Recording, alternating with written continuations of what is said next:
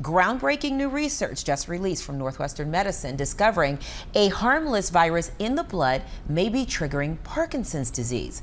The head research doctor, Dr. Igor Igor Koralnik, chief of the neuroinfectious diseases at Northwestern, is here to talk all about these findings. Doctor, thank you so much for being here.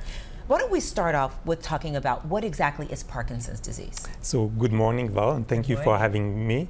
Parkinson's disease is a neurodegenerative disease of the nervous system affecting more than 1 million people in the US. It's associated with problems with movement, with um, train of thought, uh, with tremor, and it's really very debilitating. Uh, some of those cases are associated with genetics, but for most, the cause is really unknown. Is it deadly? It may be deadly, and it is associated with um, severe neurologic uh, problems that last for many, many years that can be treated with medications but uh, not cured. You mentioned that it can be genetic and maybe not. What is the research that is groundbreaking that just happened out of Northwestern that you can tell us about? All right. So we wanted to know whether environmental factors such as viruses could be associated with either causing, triggering, or worsening Parkinson's disease. I'm a neurovirologist, and in my lab, we have developed an assay called ViroFind to find viruses, where we can detect 565 species of viruses, all viruses known to infect humans in one clinical sample. Mm-hmm. And so, what we did, we probed uh, the post mortem brain sample from patients who died from Parkinson's disease, okay. mm-hmm. as well as controls uh, brains of people who died from other cause without Parkinson's disease.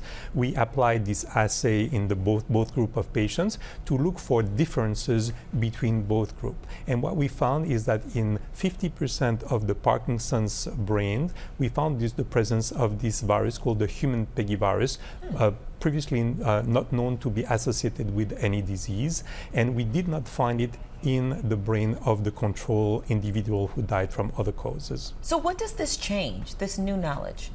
All right. So, um, we also found that in the brain of patients with Parkinson's who had the virus, the pathology of Parkinson's was more severe, more advanced, and there was also an alteration of immune signaling coming from this brain compared to those who did not have the virus. So, what does it change? It uh, doesn't tell us exactly at that present time whether the virus is causing, triggering, worsening disease because we only have one snapshot.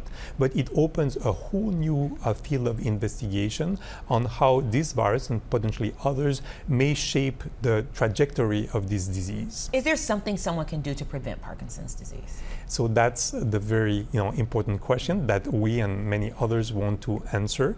Um, what is important to know is that this virus, the human pegivirus, is a close relative from the hepatitis C virus, okay. for which uh, treatment are readily available to target this virus in the liver. It would be potentially possible to target the human pegivirus by repurposing those medications to make them get into the brain. And obviously, more work needs to be done and we'd be very happy to collaborate with other researchers as well as with the pharmaceutical industry that produce those medications. Dr. Igor Koralnik from Northwestern Medicine, thank you so much for your insight and your time. You're welcome. And we're very grateful for the Michael J. Fox Foundation that supported this study.